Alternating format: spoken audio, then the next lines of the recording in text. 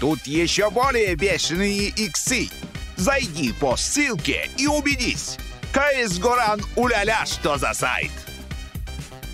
Брал проектор с собой, когда ездил в лес, и мы были в большой палатке, и я там на палатке проецировал фильм ужаса ужасов про лес. Это, короче, какое-то ебанутое погружение. И прикол в том, что я забыл, что там еще в, в, ну, в этой области есть люди. А я включил Dolby Digital, там, типа, блядь, 40 громкости. И там просто в какой-то момент мы сидим, смотрим фильм, и там резко шаги, и мы с Кирой, типа, ебануто напрягаемся. И кто-то такой, тук-тук. Я такой думаю, блядь, сейчас что-то будет. Такие, а можно потише? А у нас там, понял, скриперские звуки.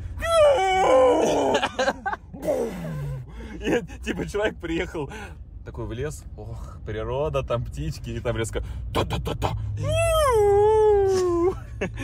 Ну и вот такая история, конечно. Нахуя ты издавал эти звуки?